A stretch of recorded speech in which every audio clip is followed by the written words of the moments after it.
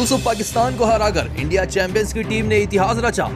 World championship of legends के final मुकाबले में दोस्तों फाइनल मुकाबला वाकई काफ़ी ज़्यादा रोमांचक रहा, जहाँ इस मुकाबले में टॉस जीता था पाकिस्तान के कप्तान यूनुस खान ने और पहले बल्लेबाजी को चुना था। दोस्तों पहले बल्लेबाजी करते इस मुकाबले में पाकिस्तान की शुरुआत खराब रही थी और अंत भी खराब रहा था, जिसके चलते अपने निर्धारित 20 ओवर में मात्र एक रन ही पाकिस्तान की टीम बना पाई।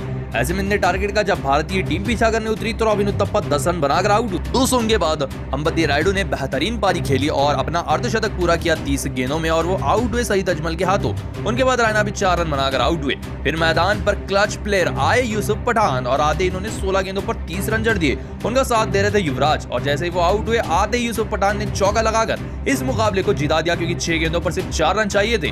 दोस्तों, इस मुकाबले में पाकिस्तान की टीम को हरा दिया। उन्नीसवें ओवर में ही इंडिया चैंपियंस की टीम ने और बन गई इस सीज़न की पहली चैंपियन इंडिया चैंपियंस की टीम लेकिन दोस्तों, आप भारतीय टीम की जीत को दस में